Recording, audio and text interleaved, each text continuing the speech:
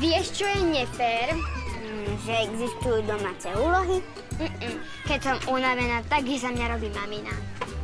To je nefér. Mm-mm. Nerada spím a rada som dlho na nete. Ale mamina mi to nechce dovoliť.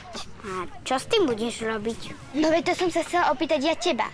Ako to myslíš? No veď minule si vravela, že tvoja mamina je psycho, že napráva ľuďom hlavu. Áno, také niečo. Tak mi daj nejakú radu, ako na ňu. Už to mám. Občas, keď babka chce, aby moja mama niečo spravila, tak jej povie presný opak.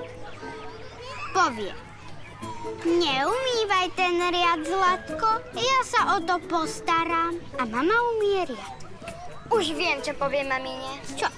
Mami, ja neznášam internet. Najradšej by som bola, keby vypli elektrinu. A doma chcem svietiť iba, iba sviečkami. Super.